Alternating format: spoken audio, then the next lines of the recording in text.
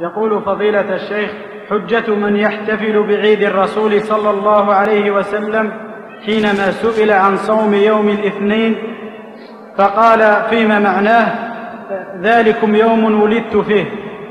فما رأيكم فضيلة نعم نقول رأينا على العين والرأس. صوموا يوم الاثنين. من يمنعكم من صيام يوم الاثنين؟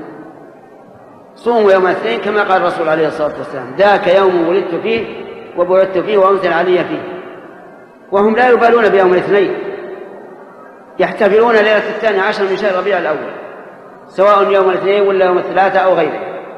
ومع ذلك من الناحية التاريخية لم تكن ولادة الرسول صلى الله عليه وسلم في اليوم الثاني عشر. هذا ما حققه علماء الفلك وقالوا إن أقرب شيء أن تكون ولادته في اليوم التاسع. ونحن نقول حتى لو ثبت من الناحية التاريخية أنه في اليوم الثاني عشر فإن الاحتفال به على الوجه الذي شرعناه آنفا من البدع وهي لا تزيد الإنسان إلا بعدا من الله والعياذ بالله لأنه ابتدع في دين الله ما ليس منه. جزاكم الله خير